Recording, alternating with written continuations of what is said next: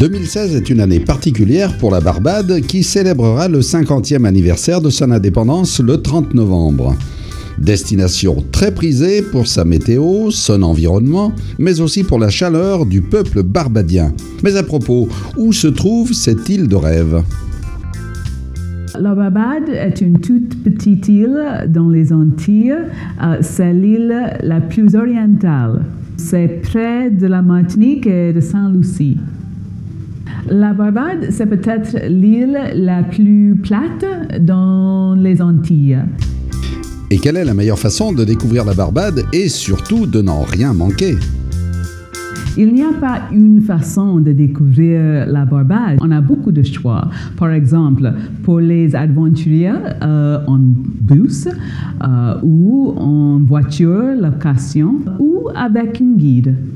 Si on va dans la campagne, on peut rencontrer euh, les gens les, plus gentils, les plus généreux euh, dans les villages.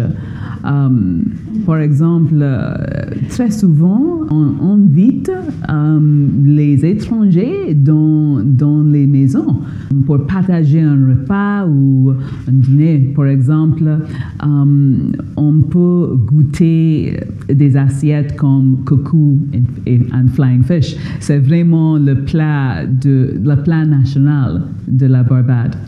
Il y a aussi um, oysters. Um, dans la nuit, chaque vendredi, les pêcheurs vendent les poissons grillés à tous.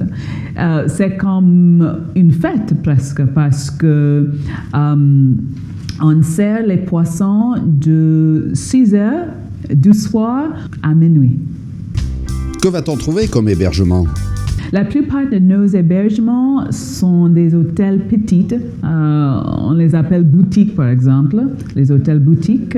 La plupart des hôtels sont des 4 étoiles et, plus haut. Il y a aussi, très intéressant, euh, les Français qui visitent la Barbade euh, préfèrent les, les villas. C'est très populaire entre les Français qui visitent la Barbade. Mais que serait aussi la Barbade sans son rhum, produit sur l'île depuis plus de 300 ans? Il y a trois variétés de rhum en la Barbade.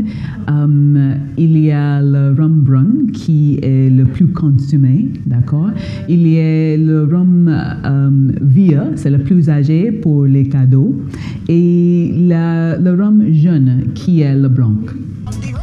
Et le temps fort de l'année à la Barbade, le carnaval, avec quantité d'événements, au rythme du calypso bien sûr. On appelle euh, notre carnaval crop over. Euh, nous célébrons pendant six ou huit semaines où il y a beaucoup d'activités pendant le jour et la nuit. Il y a une compétition de chansons entre uh, our Calypsonians.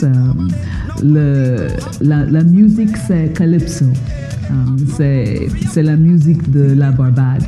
Il y a des fêtes sur château, uh, en boîte ou en campagne même. C'est vraiment un moment très excitant. Venez nombreux à la Barbade. Nous vous attendons.